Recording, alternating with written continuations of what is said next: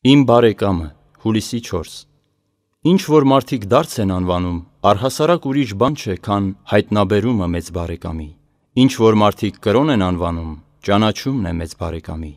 Ինչ որ մարդիկ սրբություն են անվանում, նմանությունն է մեծ բարեկամի: Կատարյալ լինել Կատարելությունը, որ ես պարտադրեցի բոլորին, ասելով. «Կատարյալ եղեք, ինչպես ձեր երկնավոր Հայրն է կատարյալ», ուրիշ բան չէ, քան մեծ բարեկամին նման լինելը, որպեսզի դուք էլ ձեր հերթին մեծ բարեկամներ լինեք այլոց նկատմամբ: Ես ձեր բարեկամն եմ: Ապա մտածեք, թե ինչ է նշանակում լինել բարեկամ և փրկիչ: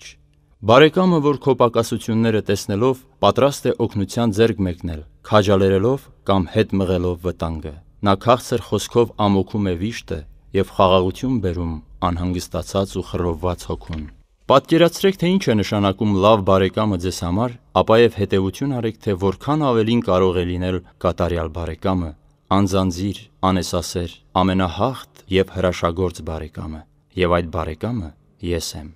Եթե ես ծանուցեմ ձեզ իմ թագավորության, մանուկների իմ թագավորության և ձեր եկեղեցիների ուսուցումները, ապա երբեմն շատ անհամապատասխան կլինի: Բայց այն պարզ կանոնները, որ ես տվեցի իմ հետևորդներին, նրանք սիրով ընդունեցին ու ապրեցին այդ ոգով: Ամեն ինչի մեջ պարզություն փնտրեք: